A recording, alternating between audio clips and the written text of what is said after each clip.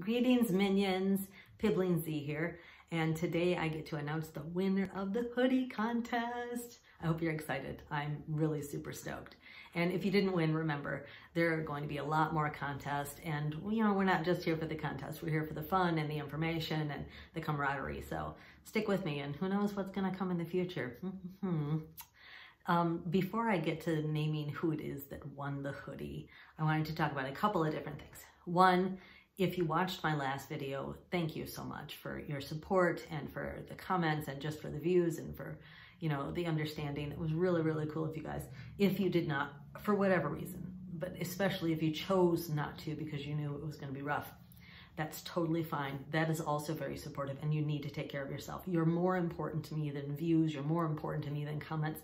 So please take care of you. And that was just really cool that you guys kind of came together as the Minion Horde. Rely on each other because together we can do anything.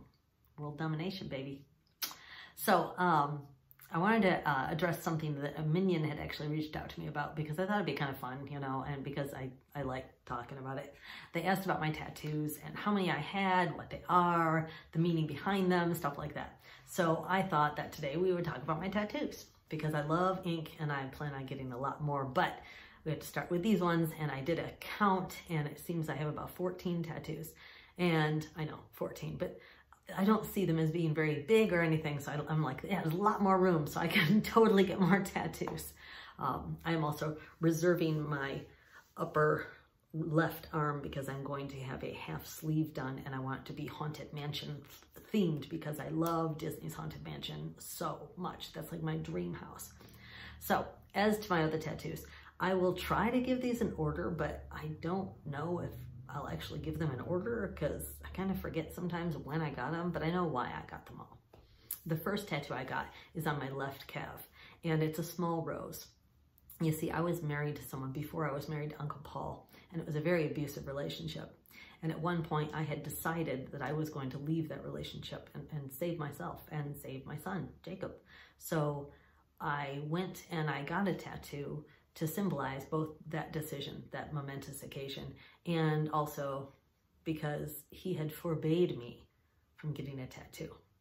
And I do what I want. So I got the tattoo and I still have it and I still love it. I love all of my ink pretty much. Um, the next tattoo I got is on my right calf and it's a dagger with a rose wrapped around it. And Uncle Paul has the same tattoo, a little smaller, but the same tattoo on his bicep. We got those tattoos when we were together for about a year, yeah, pretty much a year. And then after that, I think, this is where the order gets a little wonky. I think my third one is on my left wrist, I have Vlad's mark.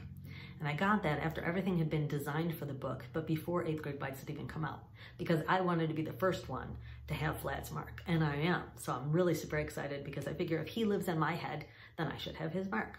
Simple enough, right? After that, um, let's, it'll be like a guessing game.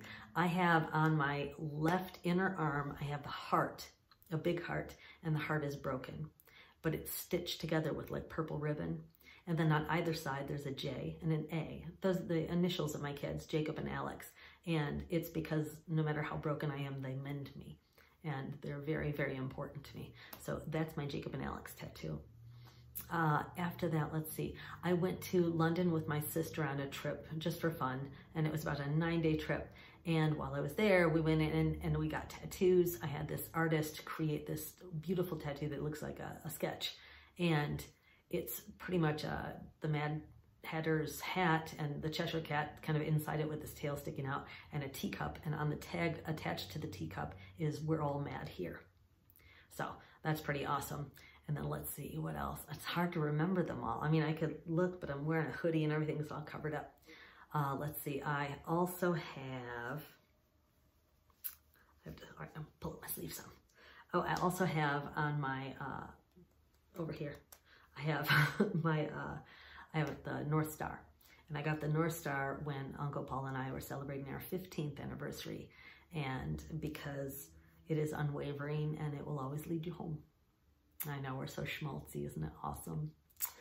And then I also have um, two tattoos on my left arm that are uh, to remind me about the fight to stay alive and why it's important.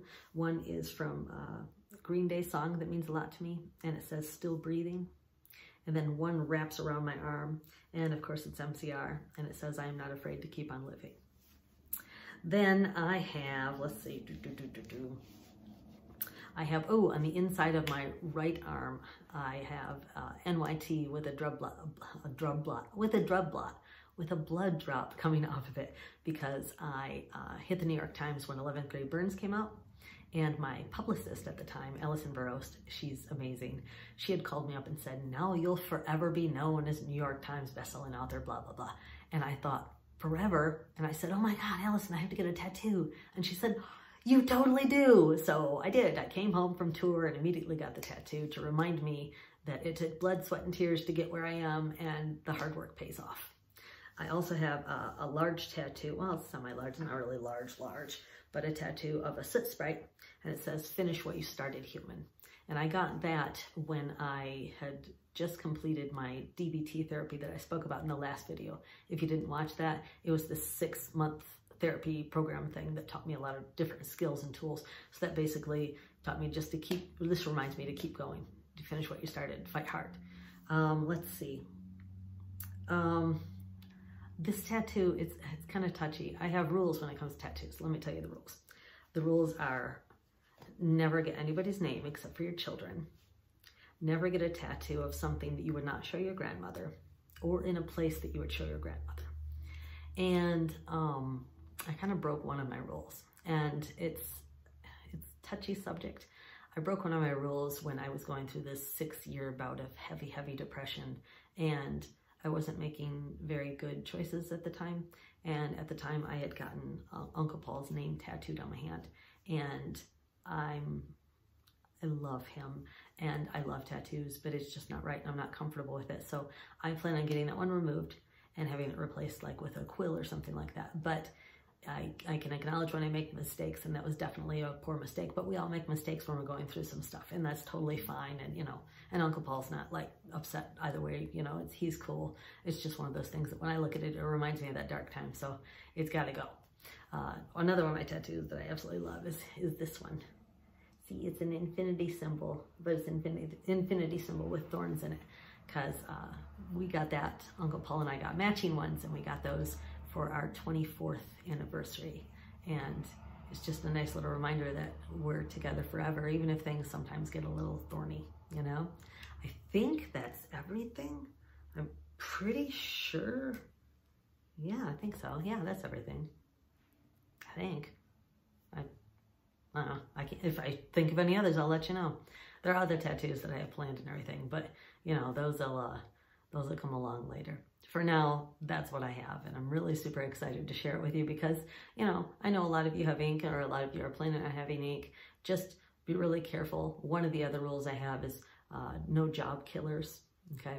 If you get, oh, I forgot this one. oh, wait, do I have 15 tattoos then? I have a, a purple star over here and a purple punk star. And I got that because to remind me that I am a rock star and I always will be no matter what. But um, as I was saying before, no job killers. Like unless you are firmly in a creative field like I am, then don't get like tattoos that can be visible like that or anything like that because you don't want to um, kill your chances at getting a job or keeping a job. And I just remembered another tattoo I have. I can't believe I forgot it. And my deepest apologies to Jacob because Jacob and I have this tattoo together. We got it together. Um, it's a semicolon. And we both got the semicolon in the same spot. And it's to, uh, you've probably seen it around. It's the uh, basically anti-suicide you know, to, to show you that your story is not over, that it's never over, that will always continue. And there's more story to tell. And we got these tattoos together to remind ourselves and to remind each other. So that tattoo means a lot to me. I don't know how I forgot it. I'm so sorry, Jacob. I'm a terrible parent. but yes, no job killers because we want the minions to be able to pay their rent or pay their mortgage and, you know, to be able to feed themselves. That's really important stuff. So definitely, definitely stay away from that until you're like firmly seated into a creative career. I can get tattoos pretty much anywhere now because, you know, I've been doing this for like 14 years. So it's nice.